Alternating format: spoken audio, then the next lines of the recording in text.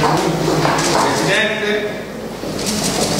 Siamo oggi qui nella Galleria dei Presidenti di Palazzo Montecitorio che, come sapete, ospita non solo i ritratti dei Presidenti della Camera dei Deputati del Regno d'Italia e della Repubblica, ma anche in ordine cronologico quelli dei Presidenti delle Assemblee eletti negli Stati italiani preunitari a partire dal 1820.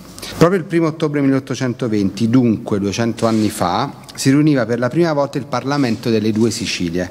A presiedere la seduta inaugurale fu il rivoluzionario repubblicano Matteo Galdi.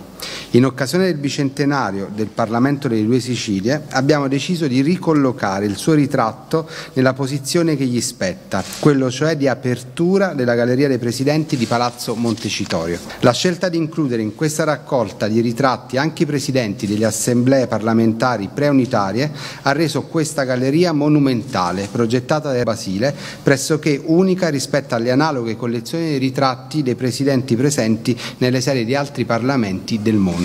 La Galleria dei Presidenti testimonia così la continuità delle rappresentanze politiche del nostro Paese in tutte le sue componenti territoriali. Con questa cerimonia e con la pubblicazione di uno speciale volume curato dall'Archivio Storico, la Camera dei Deputati si unisce alle celebrazioni del bicentenario del Parlamento delle due Sicilie del 1820-1821, che proseguiranno domani a Napoli e alle quali prenderò parte.